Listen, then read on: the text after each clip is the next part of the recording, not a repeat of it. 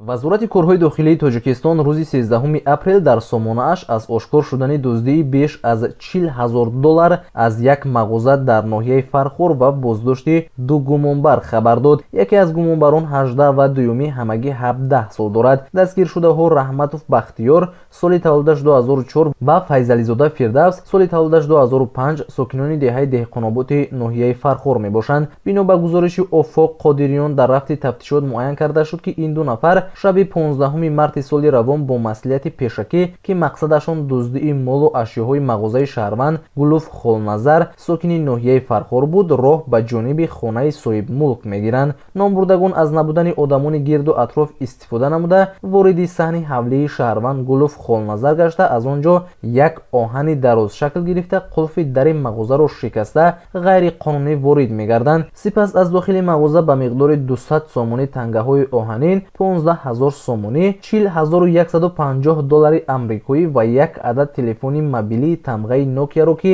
арзишаш 150 сомонӣ мебошад тасарруф намуда аз ҷои ҳодиса ғайб мезананд ки бо ин кирдори ҷинояткардаашон ба ҷабрдида ба маблағи 690 ҳазор сомонӣ зарари махсусан калон расонидаанд